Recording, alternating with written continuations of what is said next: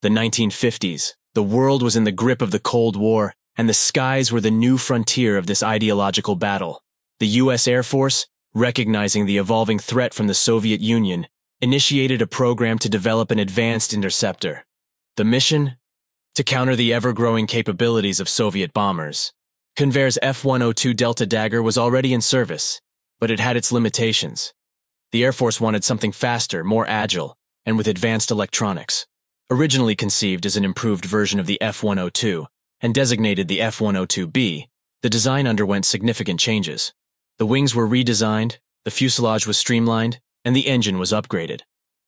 The F-106 was a culmination of cutting-edge design principles of its time. At the heart of the F-106's design was its distinctive delta wing. This wing design, characterized by its triangular shape, was optimized for high-speed, high-altitude flight. But speed and power weren't the only things that set the Delta Dart apart. The MA-1 integrated fire control system was a game changer. This advanced system could automatically detect, track, and even compute an intercept course for enemy aircraft. The F-106 stood as a sentinel against potential airborne threats during the heart of the Cold War. From the 1960s to the 1980s, the F-106 served with the Air Defense Command, which was later renamed the Aerospace Defense Command. The Soviet Union's long-range bombers, capable of carrying nuclear weapons, were a constant concern for the U.S. defense establishment.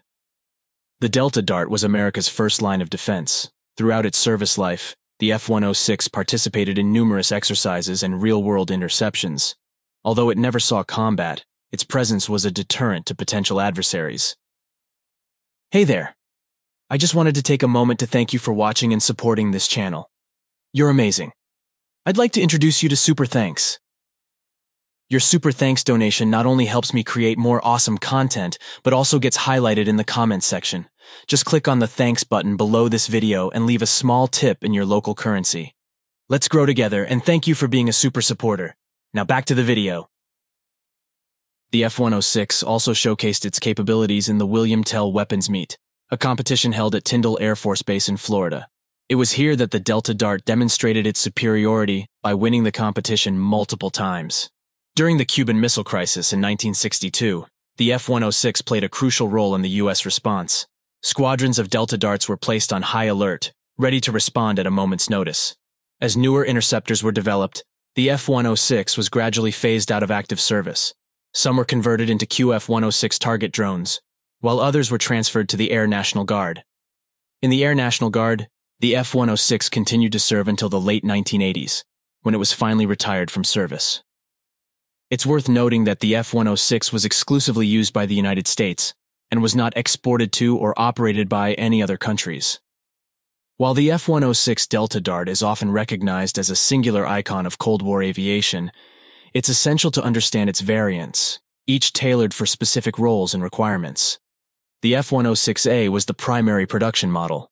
As a single-seat interceptor, it was the backbone of America's aerial defense during its operational years. Equipped with the advanced MA-1 fire control system, it was designed for one mission, to detect, intercept, and if necessary, destroy enemy aircraft.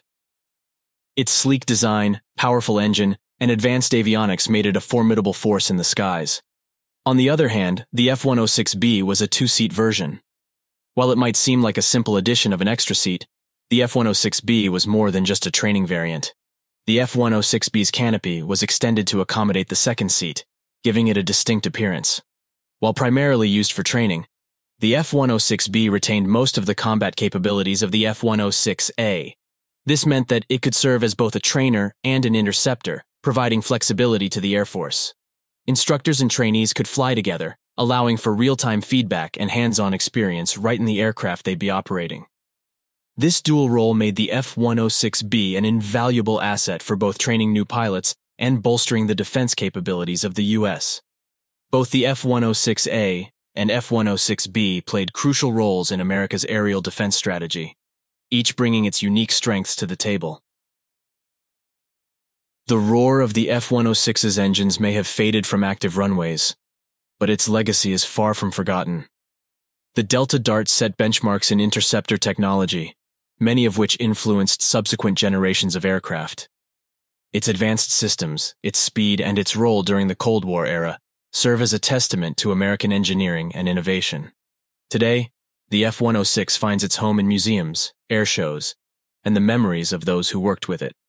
It stands as a bridge between eras, reminding us of a time when the world was on edge, and the skies were a primary battleground.